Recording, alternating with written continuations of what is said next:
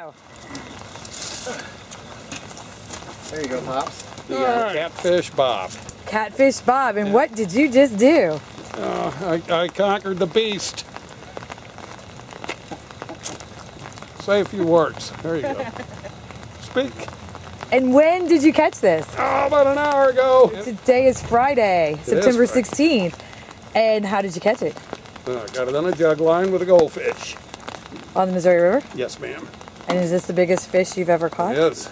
And how do you feel about this? I feel pretty good. Lucky. What are you going to do with it? I'm going to eat it, and I'm going to go get another one. How many years have you been fishing? I've been jug lining about four years now. And what is the secret to your success? Luck and good and good good advisors. The, the, the catfish guru is right here. He taught me No, everything I them, know. them guys are catfish gurus. What makes a person a catfish guru? I don't know. Luck. You gotta smell like one first. Speak. Say hello. Say hello.